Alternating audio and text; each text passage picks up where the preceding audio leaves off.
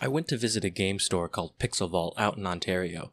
I have to say off the bat that I loved the scenery and set pieces, and the game selection was refined and in great condition. Not only that, but they had a lot of general game memorabilia that's just a joy to see. They even had a dog named Einstein who was super cute. It was absolutely my type of store. I do appreciate all of the R.O.B. representation, especially the handmade Johnny Five. One thing I loved was their business card. I love these kinds of designs, and it does not disappoint. I ended up getting Championship Pool for the SNES and Pitfall for the 2600. Let's see how they play.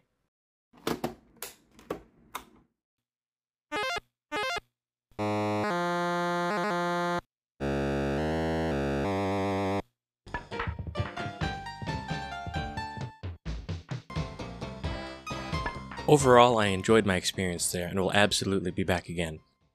Thank you guys for tuning in.